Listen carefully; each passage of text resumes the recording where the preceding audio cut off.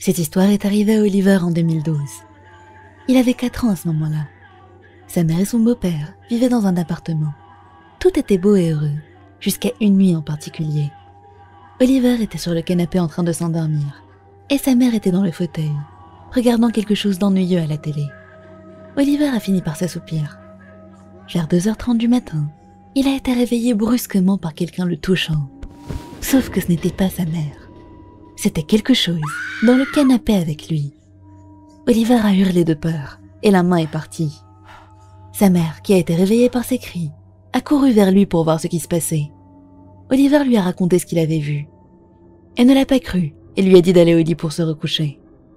Le temps est passé et quelques semaines plus tard, pendant un soir, Oliver s'est de nouveau allongé sur le canapé.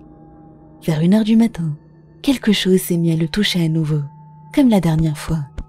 Il a crié et ses parents se sont précipités vers lui. Il leur a dit ce qui s'était passé, et encore une fois, sa mère ne l'a pas cru. Son beau-père, en revanche, si. Plus tard, au cours de cette soirée, son beau-père et lui étaient sur le canapé, en train de se relaxer en regardant la télé. Son beau-père s'est assoupi devant l'émission, et Oliver n'allait pas tarder à faire de même, lorsque quelque chose a attiré son regard. C'étaient des mains qui dépassaient du canapé. Il était tellement sous le choc qu'il n'a même pas pu crier ou appeler à l'aide.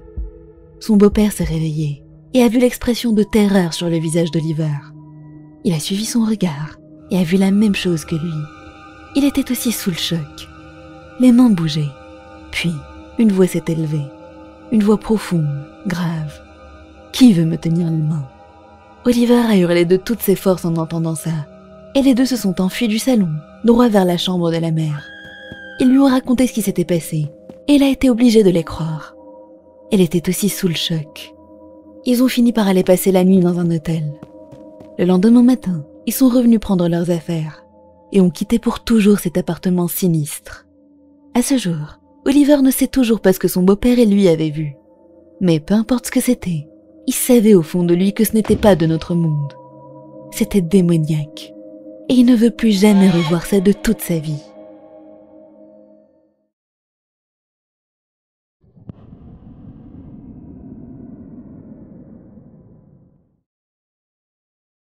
Cette histoire nous vient de Zane.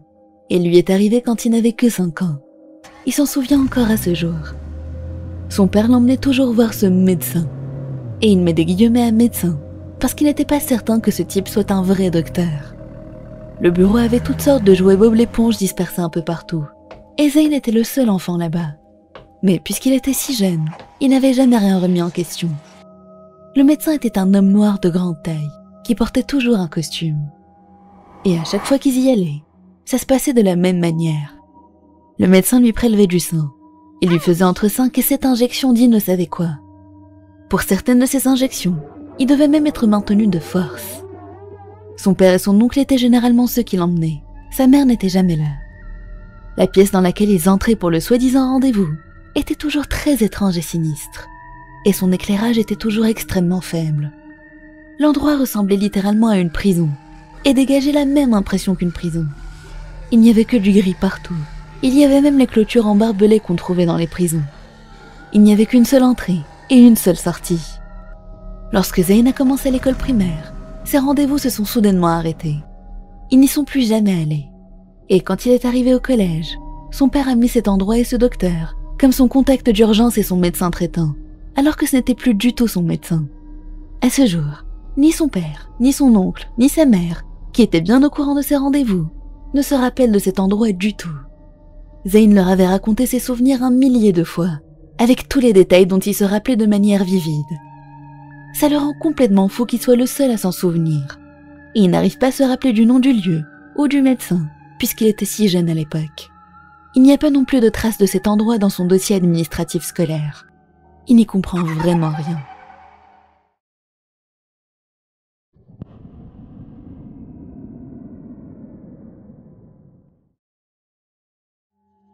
Lorsqu'il avait 9 ans, la grand-mère de Noël lui a raconté une histoire qui lui donne des frissons de peur à ce jour. Il adorait écouter des histoires d'horreur, même s'il finissait terrifié à chaque fois. Mais cette histoire en particulier est de loin la plus effrayante. Il y avait un petit garçon que nous allons appeler Tim. Tim avait la sale habitude de voler des fruits et des légumes du jardin de ses voisins, accompagné par ses trois amis, Michael, Desmond et John. Ils étaient toujours sévèrement réprimandés par leurs parents, mais ça ne les a jamais changés. Un jour, ils ont décidé de voler d'une vieille dame, qui devait avoir dans les 85 ans. C'était là leur plus grosse erreur. La vieille dame avait du maïs et des fruits dans son jardin. Tim a sauté par-dessus la clôture, aussitôt suivi par ses trois comparses. La vieille dame a été alarmée par le bruit sourd venant de son jardin, suivi par les craquements des feuilles mortes qu'on écrasait en marchant. La vieille dame est restée à sa place, ce qui était surprenant étant donné que ça aurait pu être des tueurs. Tim et sa clique ont commencé à cueillir les fruits, jusqu'à ce qu'ils finissent par apercevoir une silhouette.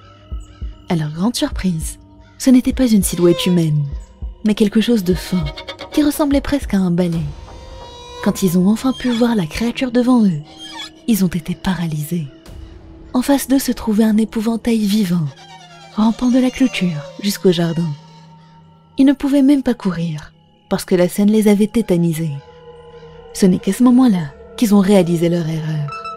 La vieille femme était en fait une sorcière, qui avait assassiné son mari et avait créé un épouvantail à partir de sa chair. Personne ne sait ce qu'elle a bien pu faire des enfants, qui n'ont plus jamais été revus vivants depuis.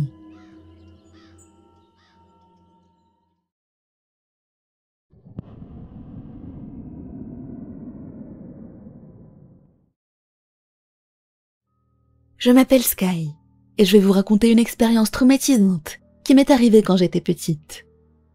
C'était en mai 2011. J'avais 4 ans à l'époque et j'étais à la maison avec mon oncle Jason. Parce que ma mère s'était absentée pour sortir avec des amis et qu'elle n'allait rentrer que très tard dans la nuit. Pour nous amuser, mon oncle et moi sommes restés debout bien après mon heure de coucher, à regarder des films. Finalement, j'ai senti la fatigue me gagner et j'ai dit à mon oncle que je voulais aller au lit. Vers 3 heures du matin, je me suis brusquement réveillée sans aucune raison. J'ai regardé par hasard vers la fenêtre et j'ai vu une silhouette se tenant au milieu de la route. Au début, je pensais que c'était peut-être ma mère et ses amis. Mais il n'y avait qu'une seule silhouette et elle ne ressemblait pas à ma mère. Puis d'un coup, la silhouette a couru vers ma fenêtre et l'a frappé très vite avec son long doigt en répétant ⁇ Je vais venir chaque nuit et je vais t'attraper Sky ⁇ Je me suis figée de peur. La chose connaissait mon nom. Elle a fini par arrêter de frapper à la fenêtre et elle a poussé un énorme cri perçant avant de disparaître dans le noir. Il m'a fallu quelques minutes pour rassembler mes forces, pour pouvoir bouger à nouveau. Quand j'ai réussi, je suis allée réveiller mon oncle et je lui ai raconté ce que j'ai vu. Il m'a regardé et m'a demandé à quoi ressemblait la chose. J'ai fait de mon mieux pour la lui décrire. Et c'est là qu'il m'a dit que ce que j'ai vu était un homme dérangé qui avait l'intention de me faire beaucoup de mal. Il voulait dire par là me tuer, mais il ne voulait pas dire ça à une enfant de 4 ans. Il a ajouté qu'il sera toujours là pour me protéger et qu'il ne laissera jamais rien de mal m'arriver. Ça fait maintenant dix ans que j'ai vu cet homme, et mon oncle est décédé en septembre. Depuis toutes ces années, je n'ai jamais dit à ma mère ce qui s'était passé. Je compte le faire un jour. Mon sang se glace toujours à l'idée de ce qui me serait arrivé si mon oncle n'avait pas été là, et si l'homme avait réussi à entrer chez moi.